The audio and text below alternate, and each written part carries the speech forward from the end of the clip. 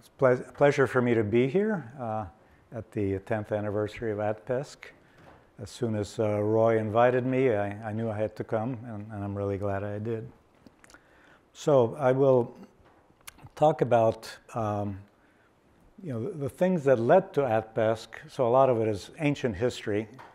You know, being old, I, I tend to focus on the older things, nostalgia, you know. So please bear with me um, how we created ATPESC, and, um, and then some thoughts about the curriculum for computational science and engineering at universities, and then some random things um, to um, wrap up. So the, uh, the inspiration started out with the establishment of the Argonne Research Computing Facility. So that's the precursor of the ALCF. And um, I'm going to be using some slightly modified slides that were first presented um, in 2013, in July, or rather in May of 2013, just before the first ATPESC program. Um, so uh, backing up, you know, why parallelism? Why did we create the ACRF? Well, this was a, a period when in the late 70s and, and early 80s, there was a blossoming of ideas of parallel architectures.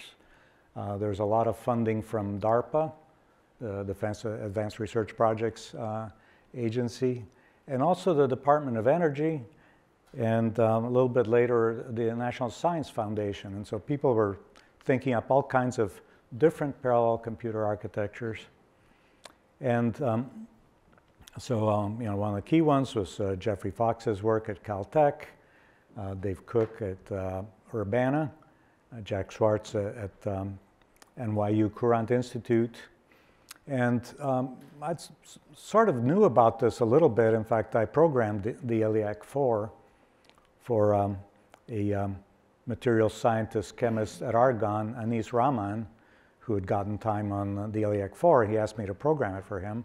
So I, I, was aware of it, but what really came home to me about the importance of parallel computers was a talk that Jack Schwartz gave at a program managers meeting in Washington uh, in uh, 1981 or 82.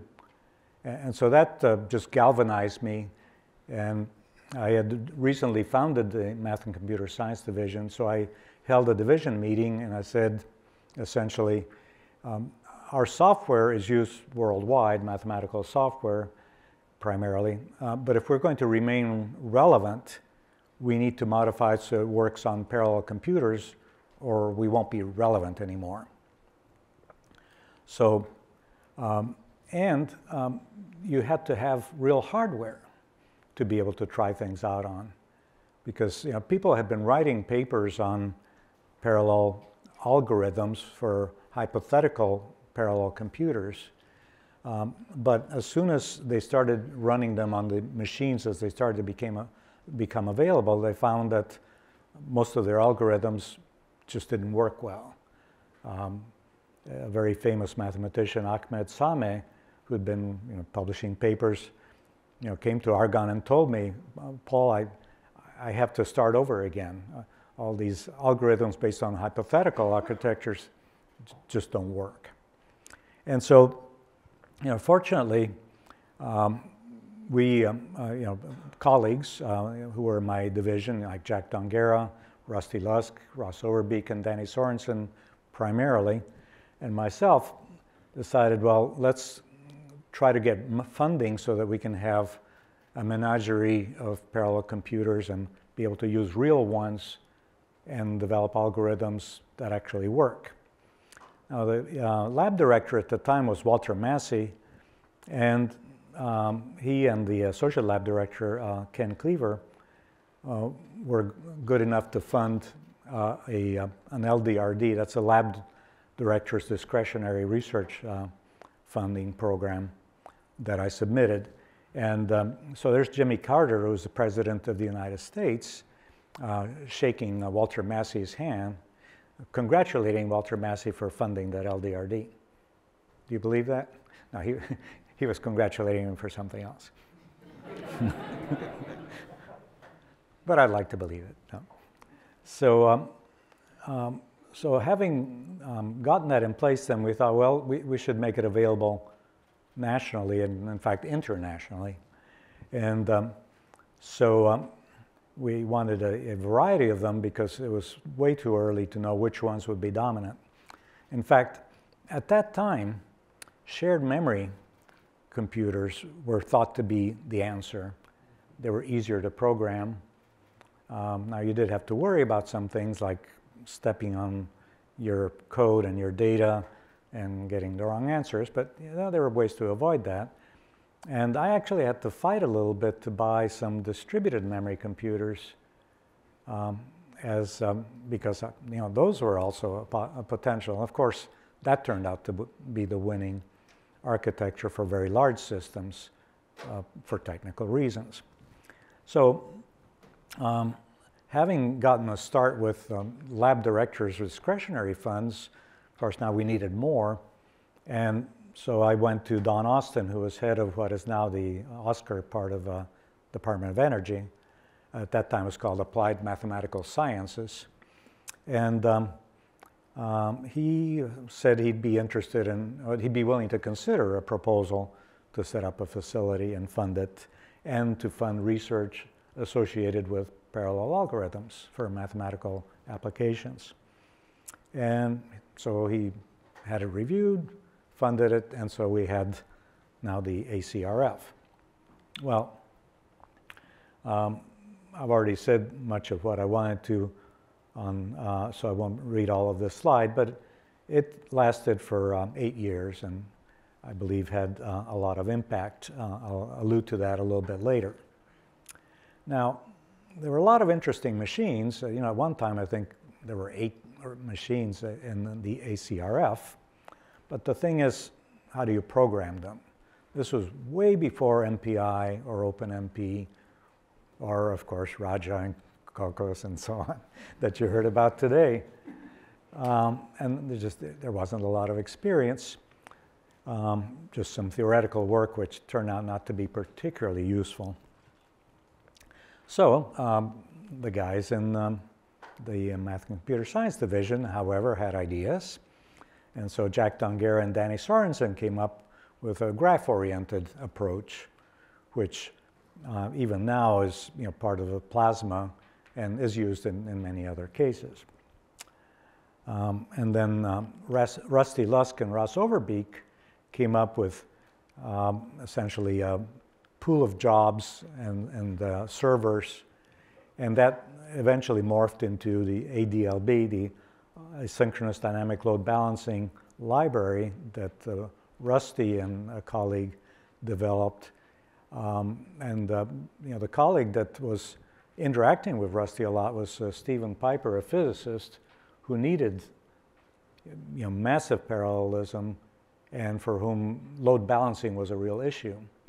And so they, they worked on it together, and as, uh, as stated here, um, it, scales to actually over a million processes. So um, that's running today.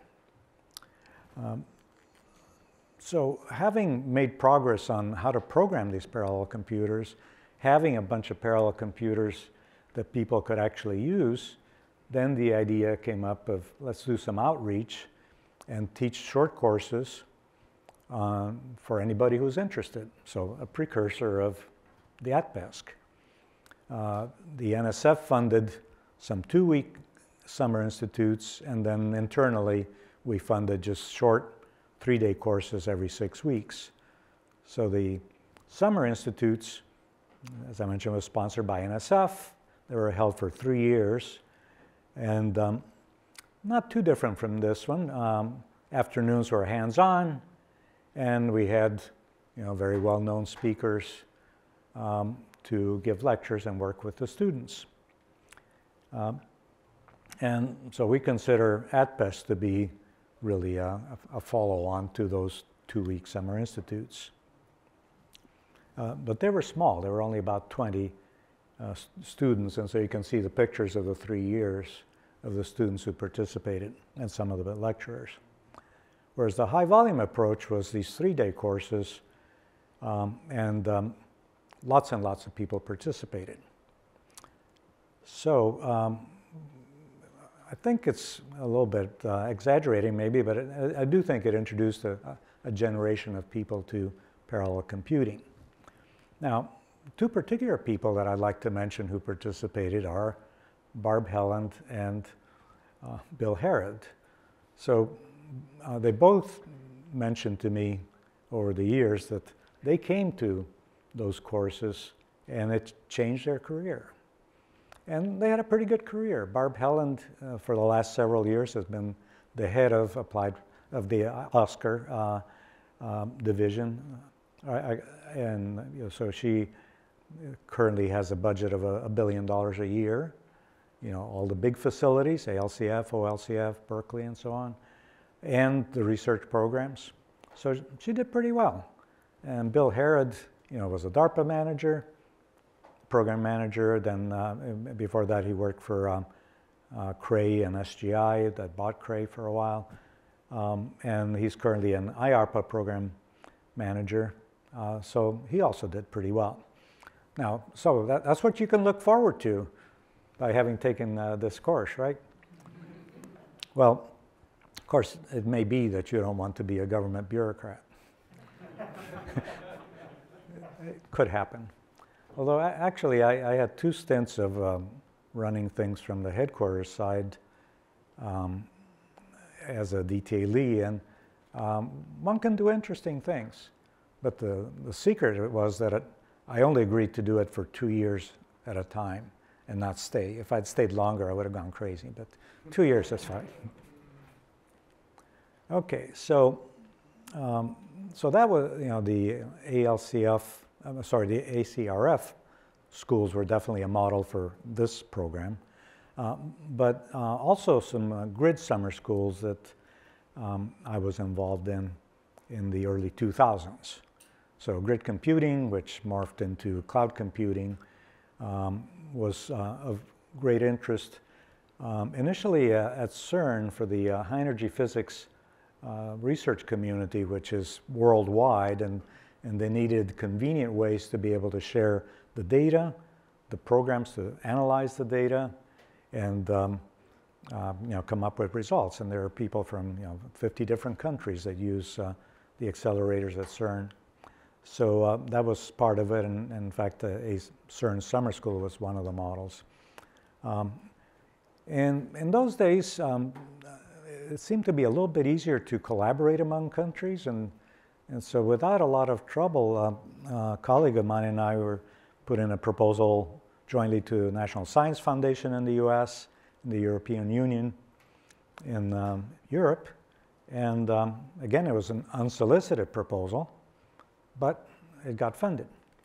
And so um, this is part of the program for the, the first one. And um, you know, we decided to locate it in a hotel on the Sorrento Peninsula in Italy. It was a, a hard choice and, very, very hard labor. But uh, it, it, it, was a little bit like this in the sense that uh, it was isolated. You, you, could see the Mediterranean below, it was up on a hill, uh, but it was hard to get to it. And um, uh, not, not a lot of roads in, in and out. Uh, but you know, people did enjoy the location.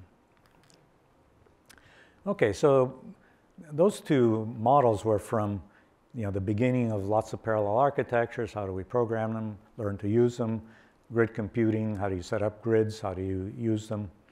And um, so come the early 2010s, uh, I, at that time, I was director of science for the ALCF and in contact with a, lot of users and the people who supported the users on a daily basis. And it seemed to me that there was training missing from, uh, for these users in a lot of things that would make their lives easier um, and so be more productive and get the results they needed. So, um, um, you know, clearly, you know, rather than invent something new, I thought, how about another summer school program? And um, I used the, the same kind of approach. First, I sounded out some colleagues, you know, is, this make sense? You know, am I wrong? Maybe there already are training programs of this type, but there weren't. And so then I um, met with a couple of program managers at the DOE headquarters and um, just orally said, you know, I, I, think this would be important and, and useful. Would you consider funding it? And they said, write a proposal. Um, so um, did that, uh, and, and that was easy to do. It, first of all, it was only three pages, I think, and you know we had already been thinking about it, uh, and um, so um, it um, was reviewed. Um, the reviews were good enough, and and it got funded. So the request was for about 1.2 million dollars for three years. So it's a you know a little bit under 400,000 uh, per year. Um, now that money, and even today, that comes from headquarters or today the ECP, is to fund the use of these facilities, your sleeping rooms, your meals, um, the um, national travel to get here, um, and um, travel for the, the lecturers. Um, it doesn't cover any of the people's time at Argonne, and I can tell you, and Ray will tell you ad nauseum, there's a lot of effort needed to run a, this program from you know when you start advertising it, get the applications, evaluate the applications, and making all the arrangements. It's a lot of work. But Argonne Lab and uh, the CELS directorate in particular that has math and computer science division, ALCF, and so on, strongly believe it's important. And so Argonne has been funding those people's time, uh, fortunately, and um, I believe they will continue to do that. So the things that I was set on is that it would be an in-person program. Now, of course, for I don't know, was it one year or two years? That two years that uh, you couldn't do it in person because of the pandemic. That I understand, but you know there were proposals to have the you know, massive open online course format. I said, no, thank you. Uh, that won't accomplish what we need to accomplish. Um, a moderate number of participants, you know, typically 60 to 80, which is still small enough that there can be interactions. And and I've seen that today and yesterday. You're, you're willing to ask questions and interact with the lecturers and with each other. And that's important. Um, getting lecturers who are leaders in their fields uh, and a very broad curriculum. Now, I know that the days are long here. You haven't even been here a full week and you're probably tired. But uh, I, you know, we really wanted to give you a broad spectrum exposure to things that you might not need this year or next year, but you probably will at some point and you'll remember and then you can dig into it. So um, initially I thought daydreaming, it really should be a, a month-long program, but that wasn't realistic.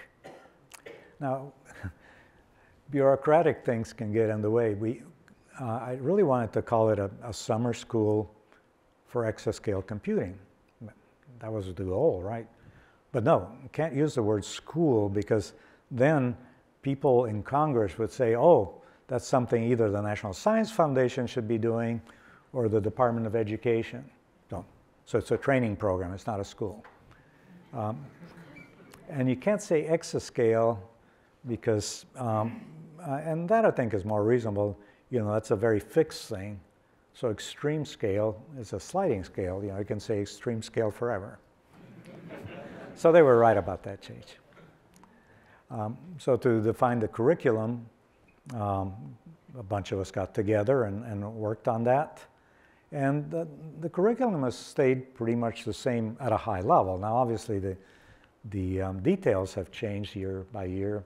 Computers have changed. The programming models and frameworks have changed. Some of the tools, um, debugging tools and so on have as well. And um, application targets like artificial intelligence, machine learning, deep learning, uh, were not part of what people were interested in nine years ago, but they definitely are now. Um, as far as attendees, um, I'd say the, um, demographics are fairly similar, but one thing that I was pleased to notice, at least in, in your group, there are more computer scientists. Now, initially, we were loath to uh, admit computer scientists because we wanted people who you know, had scientific or engineering applications to solve. Um, but computer science has also evolved in this context of extreme computing. And the fact that people with, who are computer scientists are applying, or um, I think is an indication of that. So that's a change that I noticed and that I was pleased to see. Now there are you know, lots of um, computer architectures now, uh, perhaps even more than in the 80s. Well, no, not more than in the 80s, but uh, the, you know, one of the NSF programs uh, in the mid 90s, in fact, was funded, I think it was 25 uh, short studies of different architectures. I don't know that any of them survived, but there were a lot of ideas out there. So the first ATPESC was uh, the summer of 2013, and um, there's the, um, the photo, uh, similar to the one that we took earlier today. In uh, the middle, in the uh, light yellow shirt, is Rusty Lusk. Uh, Rusty you know, was deeply involved in the original A- ACRF, in the courses, and in bringing this uh, program up to speed from the beginning. Um, uh, Rusty passed away um, in May of this year. Uh, a very big loss for our community. So, a few anecdotes. Um, I mean, one of the things that I enjoyed when I was um, involved in uh, these training programs for the entire time, I think uh, for the first three or four, uh, is seeing you know, the graduate students, postdocs, um, being able to ask questions of you know, leaders in the fields uh, of the lecturers, and, uh, and working with them side by side. Um, uh, and that to me um, you know, really made me feel it, it, validated the concept that this should be not too many people, it should be in person and with lots of hands on. And so uh, you see images like this uh, are typical. Um, also, um, you know, one of the things that pleased me is, you know, one of the participants a few years ago had been a staff member at a national lab for 20 years, and yet he came and he found that he learned enough, and uh, in fact, he liked it enough that he has um, recruited other people from his lab or convinced them to apply, and, and a number of them have um, come and, and, participated in this program. And, and so that's something I had not expected. And um, another thing was um, two graduate students who attended maybe the first or, or possibly the second. Um, the next year, they submitted um, papers to the uh, supercomputing conference, which is really hard to get accepted, and, and their papers were accepted, and they believed that it was the credit uh, should be given to their having learned so much in this program. Um, now, um, I occasionally in, in, my career have um, gotten, if not bored, just felt that I'd done enough of a particular thing and I needed to move on to do something else. So in 2015, early in the year, maybe in the spring, I thought i have been director of science at ALCF far too long. It was time for somebody else to do that. But I wasn't ready to retire. What I wanted to do was to work with universities, and, uh, and I, I had identified quite a few. Some were near Chicago, but some were not, and work with them on building up their curriculum for undergraduate, but primarily for graduate students, to include more of the content of this program, but of course in much greater depth, such as one can do in a university course, and um, uh, come up with you know computational science PhDs which could be tailored to what the science was, you know, whether it's physics or, or chemistry or material science, um, whatever. Uh, so that was what I was planning to do, but in July of 2015, in fact, I, I was on vacation in Italy, which is my native country, and I was um, on a boat, a uh, friend's boat, uh, on a cruise in the Mediterranean, and I got a call asking me would I be willing to establish and lead the exascale computing project for the United States. Now, I'd been involved in some of the early work in putting ideas together for this project, uh, the exascale computing project, and so I accepted, even though it meant uh, I wasn't going to do a more leisurely uh, kind of work for the following two years. Uh, but of course, I haven't regretted that. Um, so I never did do anything about the university curricula, but other people did. And so I wanted to point you to an article that's based on a report of a workshop. So the workshop took place in 2014. Uh, the article, the report I think was published in 2015 or 16, um, but the article that I'm pointing you to wasn't published until um, 2018. And so it's in the SIAM uh, review, Society for Industrial Applied Mathematics uh, review. It's called Research and Education in Computational Science and Engineering. Um, one of the four people that's um, an author is Lois McInnes from Argonne, who I, I believe took part in um, putting together part of the program for this year's ATPESC, in fact. Um, so this report, I'll, I'll just pick out a, a parts of a table from the report which laid out what um, the workshop and, and the authors felt were what, what would you expect a student graduating from a PhD program to be able to do? And so um, yeah, examples are, of course, my slides are online so you can see them. Be aware of available tools and techniques from software engineering. And that's something uh, you'll be exposed to next week. Uh, of course, combine mathematical modeling, physical principles, and data to derive models. Uh, uh, in-depth, um, graduate level depth for figuring out new methods. Um, uh, let's see, uh, new tools and methods to represent and visualize computational results. You'll get quite a few lectures on visualization and on, uh, at the bottom, understand data as a core asset in computational research. Again, there, I think there's a full day on, on data issues in this program. Um, be able to communicate across disciplines and collaborate in a team. Um, you may have noticed some of that here, although possibly not, but um, chances are in your careers, if you're not already working in a team, you will be, at least part of your career, because a lot of what we do these days requires a team, often a multidisciplinary team. And so being able to understand each other is quite important.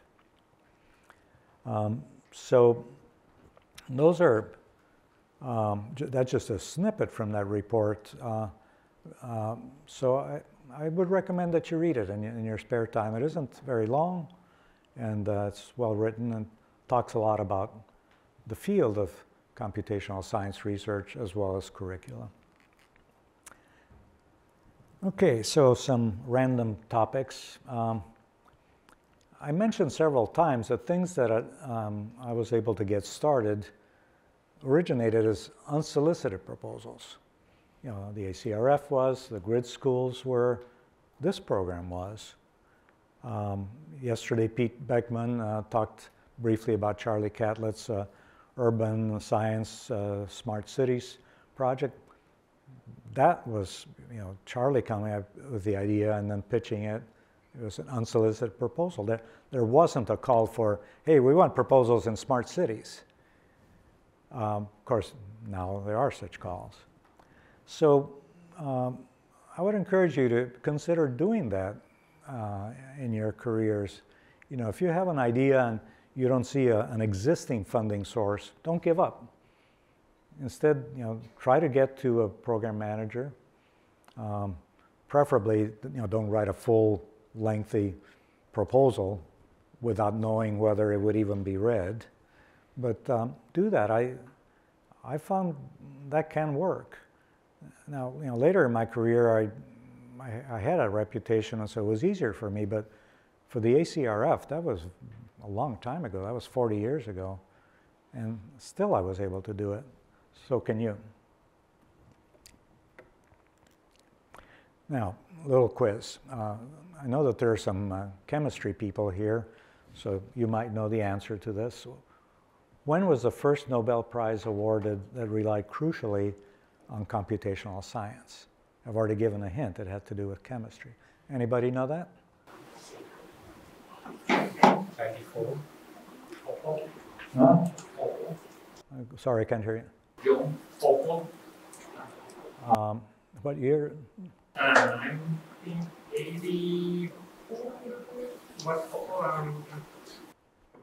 Okay, it was much earlier than that. Yeah, there have been about six Nobel Prizes that I, I believe can definitely be tied to this was computational stuff. Uh, the most recent one was in uh, 2013, Martin Karplus for CHARMM, basically, for the, the CHARMM program. Okay, so it was 1962. And it was done on a computer that started being built in the late 40s in Cambridge. Now, um, some of you may know that uh, you know there was a computer called the ENIAC, which started working in late 44, but was turned on um, for open work um, in 1945 at the University of Pennsylvania. And so the ENIAC is considered by many to be the first modern computer because it was electronic uh, and uh, it was program driven whereas things like the Harvard uh, Mark I uh, was electronic, but it wasn't program driven. You had to have people to um, make it uh, go from one step of a computation to another manually. So there was ENIAC, and John von Neumann uh, got interested in that and found out that the, the team at the University of Pennsylvania was designing um, uh, EDVAC as a successor. Um, and von Neumann thought this is great, and he contributed to some of the ideas. Um, the stored program model is often known as the John von Neumann model, where you store in the same memory the program and the data that the program acts on. Now, to you that may seem obvious, but it wasn't at the time. Um, and, and so, um, and von Neumann felt that it was okay for his ideas to be open and free. So when people heard about this EDVAC idea, and then uh, von Neumann was designing one for um, Princeton because he was a, at Princeton at the Institute for Advanced Studies. Um, he came up with something called the IAS computer, and he uh, would give away uh, the, the, blueprints and the, the, preliminary specifications to anybody who wanted it. Um, and so somebody in Cambridge, England found out about EDVAC and got the, um, the plans at the time and um, built EDSAC, which was running before EDVAC as well. And this guy, John Kendrew, was trying to determine the structure of a protein and it was dealing, you know, had, had figured out along with um, um, Perutz a way to get uh, X-ray spectra that would have the right information, but there were many, many of them. And to do them by, to analyze them by hand was to do the computations necessary to get the three-dimensional structure by hand, which is not practical. Fortunately, somebody told them about EDSAC was working, and so he and a colleague, um, colleague's name was uh, John Bennett, uh, wrote a program for EDSAC and for the first time determined the structure of a protein, my myoglobin. And so that was data intensive in those days because 250,000 X-ray reflections uh, was a lot. Um, and so got a Nobel Prize in 1962. So there's a trivia question for you. uh, to stump your friends with. Now, um, unrelated to that, but in the same time frame, namely 1945, um, I wanted to mention this because I, I recently was asked to write a review for SIAM News of a book called A New History of Modern Computing. And I really enjoyed the book. Uh, the review will be published in September.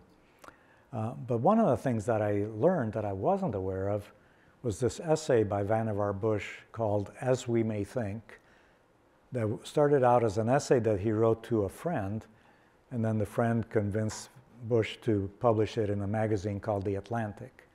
The Atlantic is still in print, but it's still being published. Uh, now, uh, what is amazing to me is that uh, Bush predicted a lot of things that only in the last few years have become available and we think of as being revolutionary.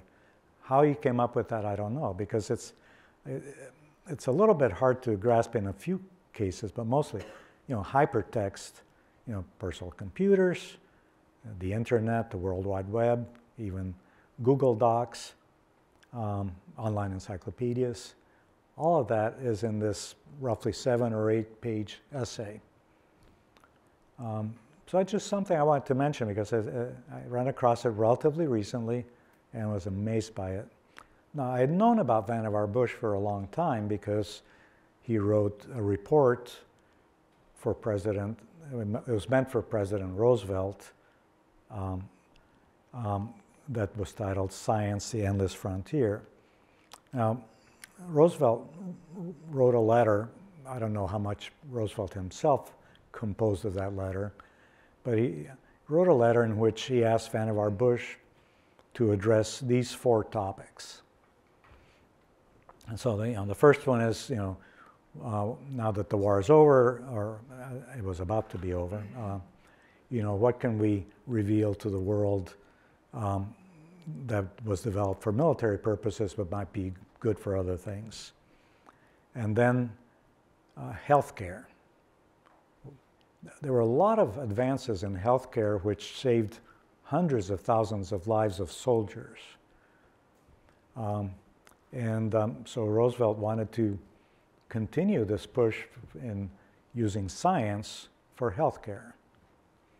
Um, and then, shouldn't the government be continuing to fund research even though there's not a war going on? That's number three.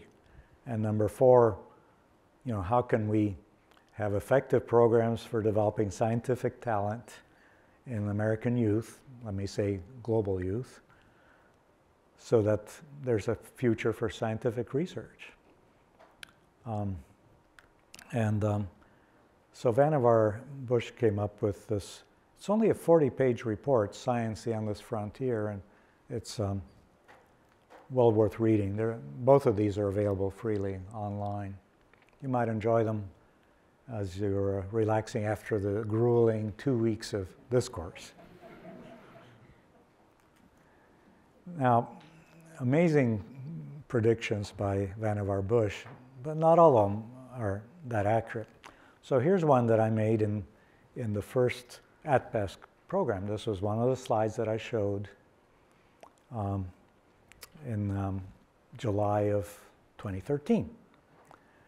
So one thing I got right, if you look at the top uh, right, that the first exascale system would be in 2022.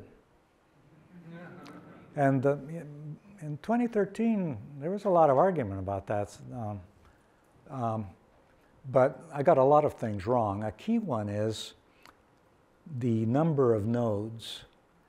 At that time, we thought there would be a huge number of pretty small nodes. But in fact, as you know, um, we've gotten into really fat nodes and much fewer than 100,000 or a million. So I was way off on that. Um, some of the other ones are not too far off, but you know, many things are off. Uh, so I'm no Vannevar Bush. Uh, however, I did better than, than the RAND Corporation. So the RAND Corporation in the mid-50s said in the, by 2004, a home computer might be like this.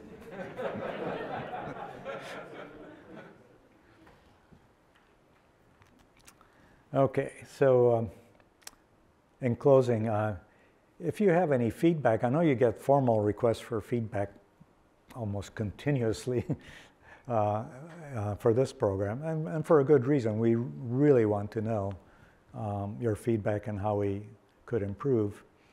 Um, so I just want to urge you to, um, to give us that feedback. And I want to thank you for participating in the program. Thank you very much.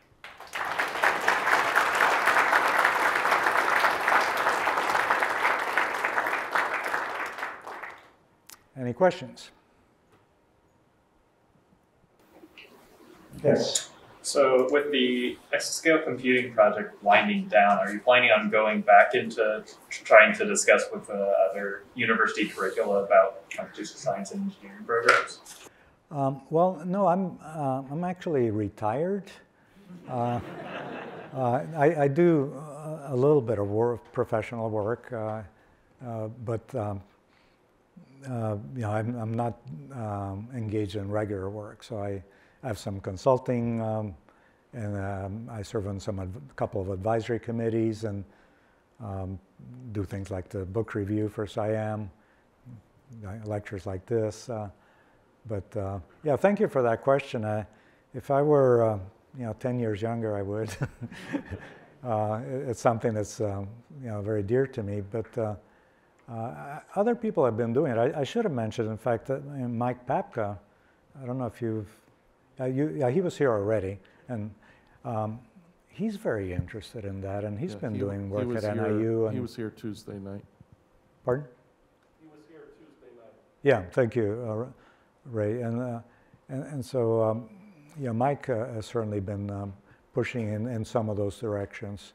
So I, I leave it to uh, other more vigorous people, and I'll I'll watch it from a distance. But uh, yeah, it's something that um, I think is very important. Uh, you know, there are you know PhD courses and things now that, of course, there there weren't hundred years ago.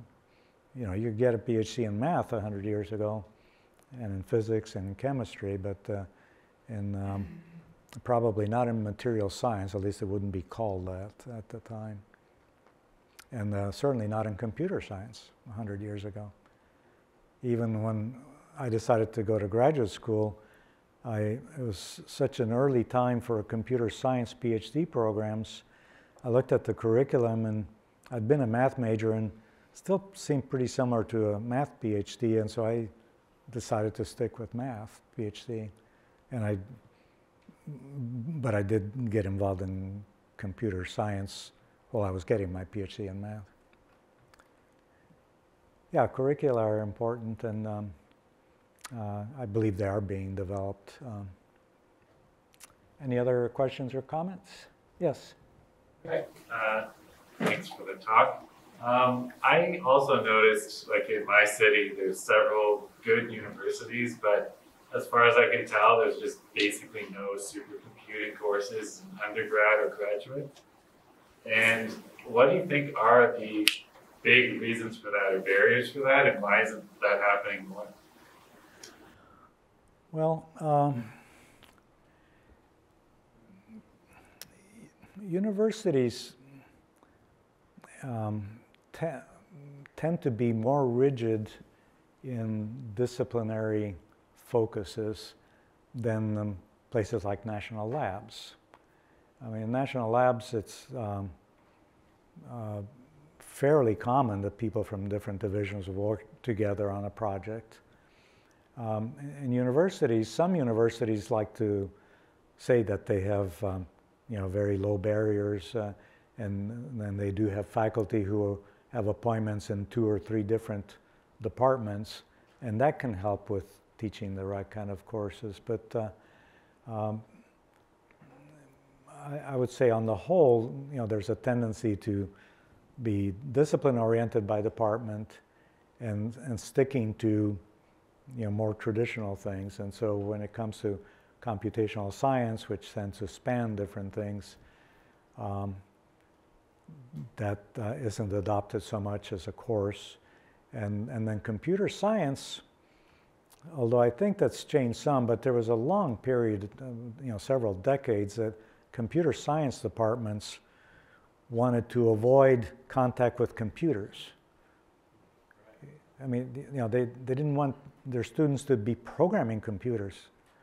They wanted to just learn about, you know, interesting, uh, elegant ways to program in the abstract um, and have concepts, uh, but not actually get your hands dirty. And yet, to me, computer science is almost like an engineering discipline. You, you need to do things with real hardware to learn. So those are some of my observations. Uh, uh, some of you probably know that Department of Energy, uh, in fact, the ASCR part, has for something like 25 years been funding something called the um, CSGF, the Computational Science Graduate Fellowships. And the way that works is, you know, the people who are selected, then uh, staff that runs the CSGF program work with the university where the person is getting a PhD to try to cobble up a curriculum that will end up being, you know, computational science plus X, where X might be biology or physics and, and so on. So you, you have to do that because there isn't a, already a, a program like that. Um, even you know, computational biology, uh, there are there are PhDs in that, and a few places have a computational physics degrees, uh, but uh, not too many do.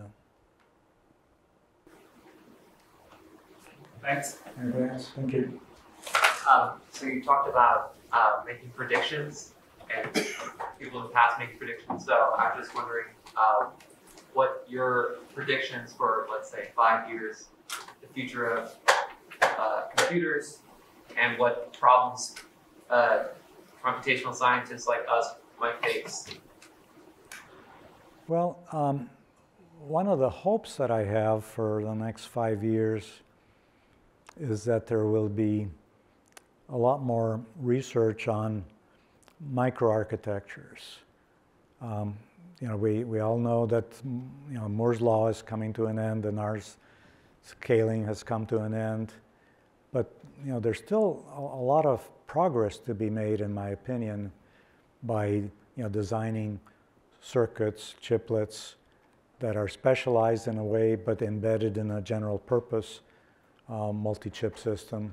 So that, that's what I mean by micro architecture. And um, so if uh, there is progress in that, investment and then progress in that, which I believe could take place within a five-year period, then you may find that those systems are easier to program and, and in particular easier to get very good performance from because of the partial specialization. I mean, even now you see hybrids of, you know, straight chips um, interface with FPGAs so that you can, so to speak, on the fly have the FPGA part optimized to a recurring heavy-duty calculation. So that, that's my belief. You know, quantum computing not in the next five years in terms of a real quantum computer. There might be simulations of quantum computing that you could uh, learn from and experiment with, but not a, a real operational quantum computer, regardless of what some companies say. I could be proven wrong, but that's my bet.